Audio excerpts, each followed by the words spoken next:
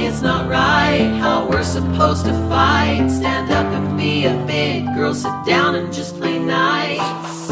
It's not right how we're supposed to fight. It's been 2,000 years without basic human rights.